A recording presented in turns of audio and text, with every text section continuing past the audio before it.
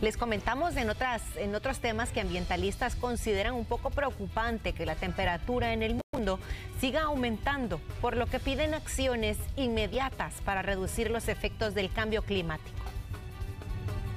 57.400 millones de toneladas de dióxido de carbono se produjeron en el mundo entre 2021 y 2022, según establece la Organización Meteorológica Mundial. El CO2 forma parte de los gases de efecto invernadero que para estos años incrementaron 1.2%, provocando un aumento en las temperaturas, situación que ya está impactando a El Salvador, afirman ambientalistas. Para países especialmente vulnerables como El Salvador, este cambio climático ya genera pérdida de biodiversidad, pérdida de costa, pérdida de seguridad y soberanía alimentaria eh, por su vinculación a las cosechas, al régimen de lluvia, a la falta de lluvia. Entonces, en la medida que la temperatura continúa aumentando a nivel global, estos impactos van a ser mayores. Organizaciones climáticas consideran necesario reducir las emisiones de estos gases entre un 28 a 42% para 2030, en un intento por mantener los niveles de temperaturas globales por debajo del 2%, postura que comparte la Unidad Ecológica Salvadoreña y que debería ser implementada de inmediato, sobre todo por los países desarrollados.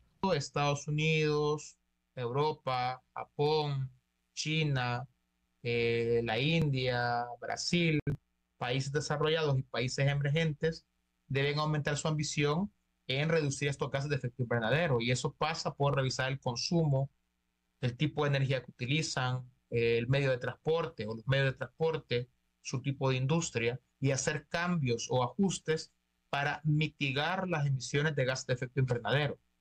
El Centro de Predicciones Climáticas proyecta un 71% de probabilidad de que el fenómeno de la niña se forme entre septiembre y noviembre, pero sería débil y de corta duración, una situación que se considera anormal, pues dicho sistema se ha retrasado al menos cuatro meses. Lo normal en esto es de que hubiera un fenómeno del niño o un fenómeno de la niña eh, entre varios años. Hoy tenemos o uno u otro. Agosto ha sido como con poca, poca agua a ver qué, esto, qué impacto va a tener esto en la producción de frijoles pues, que se da por estas fechas.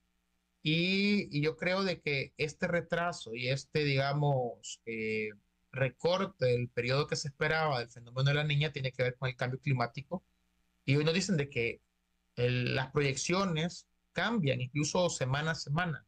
Centroamérica estaría produciendo entre un 0.15 a 0.25% de los gases de efecto invernadero en el mundo, y aunque es una cifra relativamente pequeña, la UNES cree necesario implementar acciones para reducirla o eliminarla, como utilizar energías renovables, fomentar la reforestación y adaptarse al cambio climático, entre otras.